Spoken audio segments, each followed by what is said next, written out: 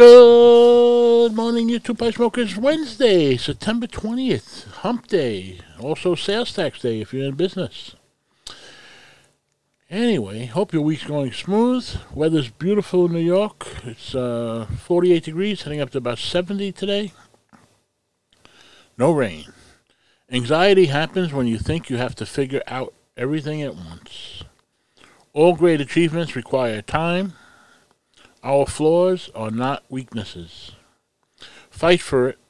Sometimes the biggest problem is in your head. I'm sorry about yesterday, no sound. The power must have went out and my mixing board was out and I didn't catch it. Hmm.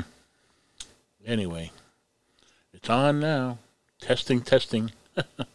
anyway, have a great day. I'll catch you on the next one. Thank you.